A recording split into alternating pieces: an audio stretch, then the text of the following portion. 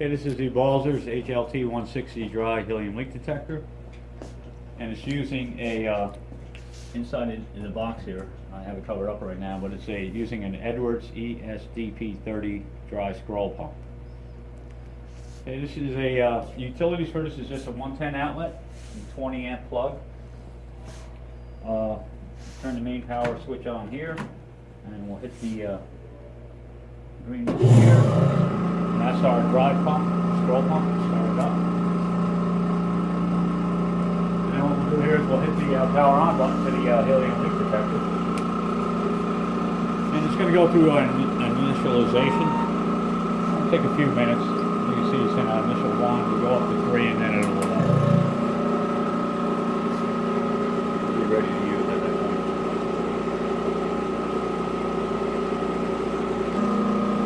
Okay, while we're waiting for this to initialize, you can see I have, this is port one here, I have it blanked off with a KF25 uh, blank off.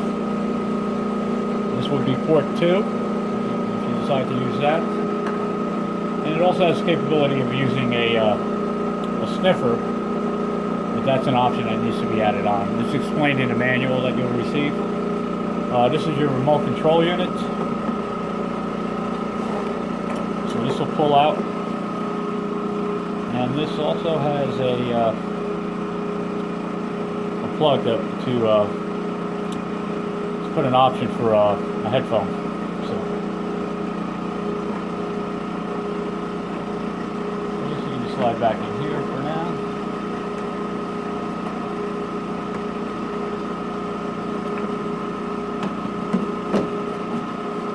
Put it in here. Uh, I do have a standard here that we have got calibrated and uh, to the depletion rate as of September of last year at 7.8 times 10 to the minus 8. Now I use this to calibrate our internal leak. There is a leak inside, but that too also depletes over time. And if you look up top here, you can see that the uh, internal calibrated leak has been set to 4.9 to the minus 8 millibar liters per second.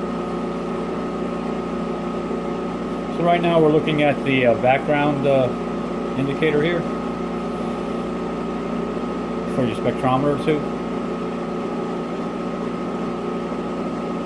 And just quickly I'll go through here just to explain.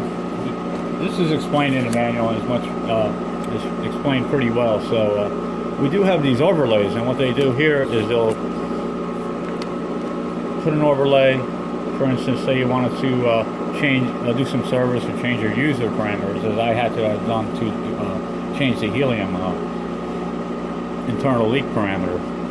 What you would do here is hit enter,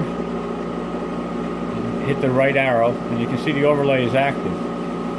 And by hitting user parameters, we'll just step through and we'll look at, uh, which would be here, cal our responses in standard, and here's our TL internal, that's our internal leak value, and as you can see it's set to 4.9 e to the minus 8. Other user parameters are the main, so this is a, we set this to 60 hertz. You can set either 50 or 60 depending on your uh, frequency of your power coming in. I have the background uh, subtraction off. As you can see, the user is in this column here. If you're doing service, it would be in here. So you can set your PV1, PV2, and PV4 values. Again, this is all explained in the manual. I just want to show you how to use it. And then here's our service. That's your P2 value. Which are your Piranis, internal Piranis. P1. It's the speed, your rotation. I'm not sure what that is. Uh, hours. So anyway, to get out of this, then what you would do is hit enter and then reset, and you'd be back to where we were initially. And then you do have one here too where you can control different valves. Again, this is explained in the manual.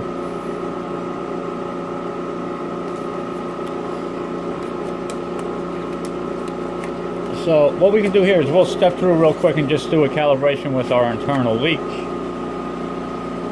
And to do that, uh, we need to be vented, which we are. We're in vent mode. We're going to hit calibrate.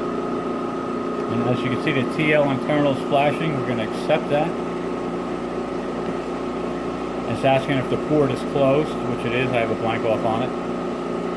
And we'll just go ahead and uh, hit enter. So it's going to take a minute or two. It's going to go through an internal uh, leak calibration and we'll calibrate your system for you. And we'll come back. It's going to read back a uh, calibration factor number and we'll look at that and then we'll continue on it and we'll, we'll check it against our calibrated leak here, our uh, external calibrated leak.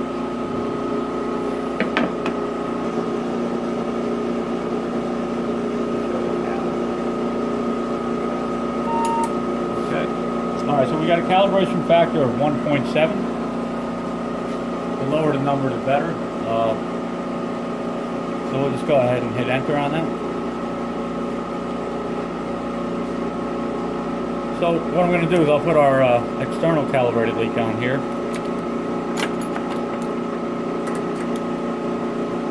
And you, there's an O-ring such as this. It's a KF25 quick flange. Right? Just make sure there's nothing on the O-ring. We'll leave this open here.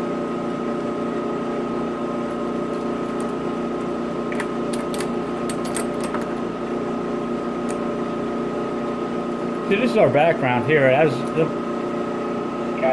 you'll call on line one. You'll call on line one. Line one. This is your helium background that you're seeing in the spectrometer tube, and as this the uh, detector runs for a while, you'll see that number will come down pretty low to the low, low to the minus 10 range. So what we'll do here is we'll just hit pump, and we'll go ahead and see that our numbers match here.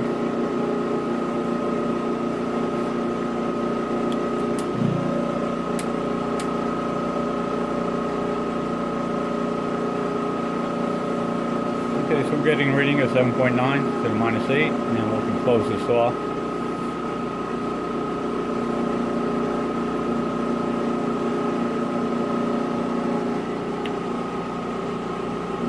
So it's recovering from the helium that the helium leak that it just sensed the spec tube. I'm gonna go ahead and open it up real quick. And here we are. So now that we know that the helium leak detector is calibrated, uh, we can go ahead and start leak testing. What I'm going to do here now, though, is I'm going to show you how to operate uh, the hand. Uh, the hand with the line through it means it's uh, hands-free or in automatic uh, ranging mode, and you can adjust it down. For instance, here, as long as you're not auto range, it won't let me go into 10 because it's right at 10 here now you can see in auto mode it'll find the correct uh, I can bring that down there we are there's our 8 range. Alright so that's our auto mode. Now what we can do here is we can uh, go to manual. We'll do a uh, zero on the background here by hitting this. Down arrow and at this point, our volume will then be uh, enabled, our speaker.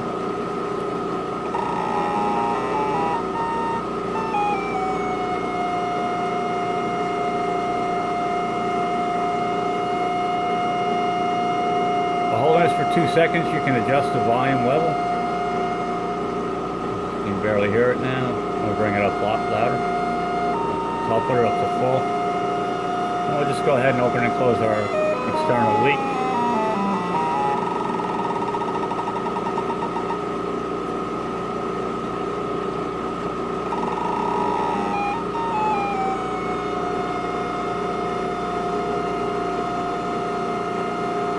As you can see, we're at 8 to the minus 8 range. And when we're done, we just hit the vent button. That'll vent port 1 for you. Take off your leak.